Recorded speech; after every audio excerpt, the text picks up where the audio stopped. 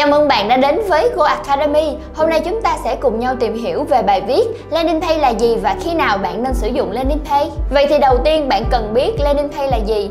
Landing Page là một dạng trang đích được sử dụng phổ biến trong kinh doanh. Landing Page được thiết kế chuyên biệt để sử dụng riêng cho một dịch vụ hoặc sản phẩm nào đó. Mục tiêu cuối chính là để khách hàng có thể điền form đăng ký, đăng ký tư vấn hoặc là trải nghiệm dịch vụ. Tạo Landing Page với GoSell. GoSell là một sản phẩm có chứa GoLead giải quyết giúp bạn mọi vấn đề về landing page. Khi chạy quảng cáo, Sản phẩm GoLead từ GoSell sẽ đưa ra cho bạn bộ sưu tập mẫu mã phong phú tha hồ bạn lựa chọn. Điều tiếp theo khi ra mắt sản phẩm và dịch vụ mới. Nếu bạn là một doanh nghiệp lớn và có nhiều khách hàng quan tâm, bạn nên sử dụng landing page. Sử dụng landing page khi bạn muốn tạo thứ gì đó free.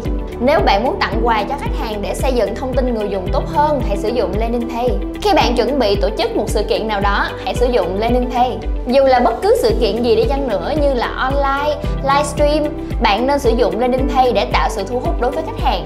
Vậy thì bạn có nên sử dụng landing page cho các chiến dịch khác nhau hay không? Câu trả lời sẽ là không. Thay vào đó, bạn nên tạo nhiều landing page cho nhiều mục đích khác nhau. Vậy thì bạn nên lựa chọn nền tảng thiết kế landing page ở đâu?